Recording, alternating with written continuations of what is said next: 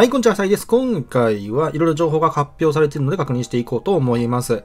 えー、バージョン19.3.1へのアップデートと、えー、ゴッドフェスが来ますよっていうのと、えー、進化情報がありますよっていうのと、あとこちらですね、えー、新しいダンジョン、神秘の次元濃紺が登場しますよということで見ていきましょう。えー、明日木曜日じゃないわ、明日じゃないわ、明後日か。えー、木曜日17時から登場しますよと。よいしょ。えー、こちらは、裏修羅の限界の裏魔門をクリアすると登場しますよと。えー、最欲では、えっ、ー、と、これ闇アルバート、ん？違う、なんだ？な、わかんねえ。た多分これ木と闇と水の三択って感じなのかな？で、新たに登場する2体のアルバートを倒すと、妖精王アルバートをそれぞれ究極進化させる奇跡を入手できるぞ。さらに、初クリア報酬として魔法石85個がゲットできるぞ。ということみたいですね。うん、なるほど。裏魔門の時のね、そのクリアした石85個、ここでもね、搭載してきたっていうことで、まあ、これは結構ね、やる理由がしっかりできて、うん、いいんじゃないかなっていうふうに思いますね。で、これを見ると、スタミナ99で13階層ですね。はい。で、性能はちょっと後でいいか。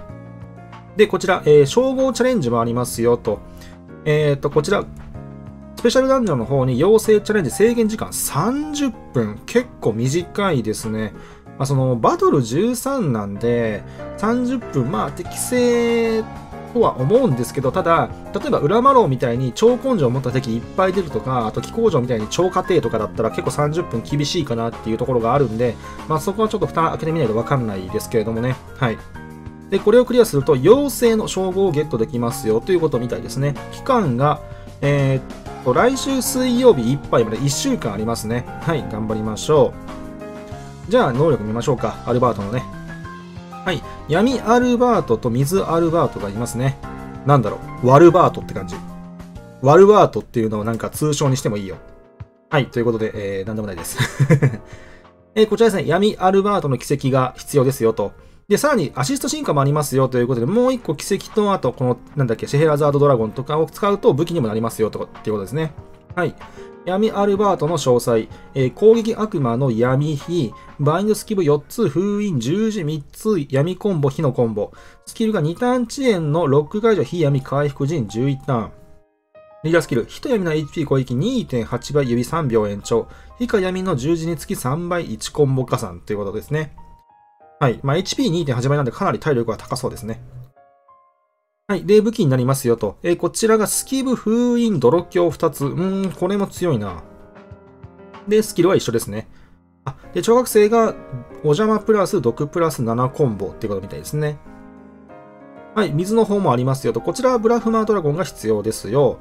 で、えー、っと、性能の方が、バランスの水闇、バインドスキブプラス封印2個、指プラ3つ、10コン2つ。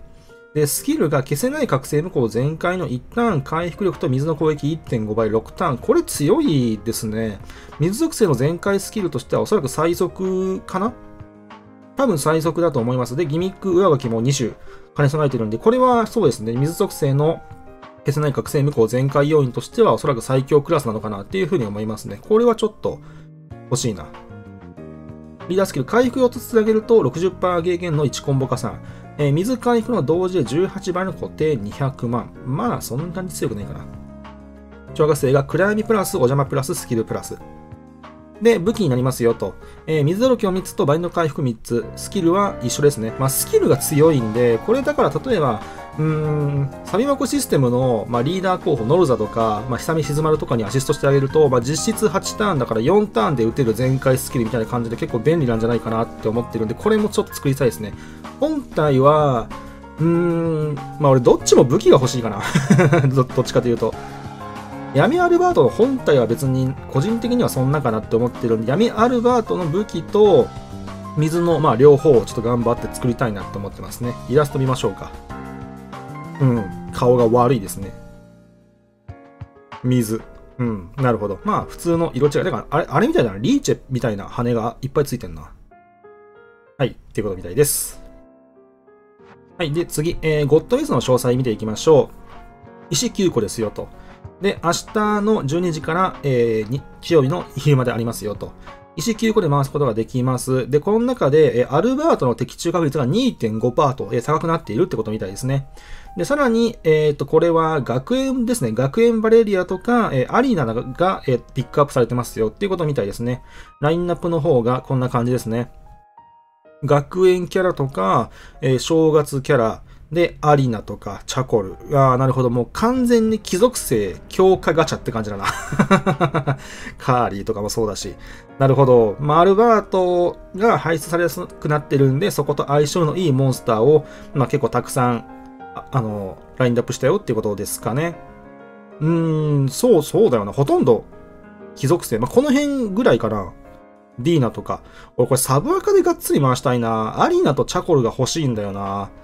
うーん、なるほど。貴族性思いっきり強化したい。ああるいはその、この間のね、ガチャでノーチラスゲットした方とかは、これ回すことで結構、まあこの辺うまく引ければさらに強化されるよっていうことですかね。なるほど。まあ石が足りるかどうかはさておき。はい。で、えー、モンスター購入に、えー、身分証が、えー、ラインナップ3000円で買えますよってやつですね。えさらにこれですね、今回。えアルバートが交換所に登場するんですよね。モンスター交換後に玉ドラ、えー、枠解放と二次メダルに加え、アルバートが期間限定で登場。で、これは1回きりなんですけれども、えー、持ってない人はここでね、1体交換することができますよっていうことみたいですね。まあ、これは救済措置としてすごくいいんじゃないかな。なんかね、個人的には、なんかその今まで登場してきたフェスゲンとか、あるいはまあ普通の通常心でもいいんだけども、結構なんか交換所とか、モンポとかで もうなんか巻いちゃってもいいんじゃないかなって。まあそれこそ星7フェスゲンなんかは、なんかローテーションで、なんか各2週間に1体とかのペースで、なんか交換所置いてあげたりしたら結構なんか親切なんじゃないかなって思ったりするんですけど、それは甘いですかね 僕はやっても良さそうだなって思うんですけど、まあこれは持ってない人は特にありがたいんじゃないかなっていうふうに思います。で、スキラギダンジョンもありますよという感じですね。はい。ということで、まあ、新ダンジョンが来るということみたいなんで、まあ、これがどうなるかっていうところですね。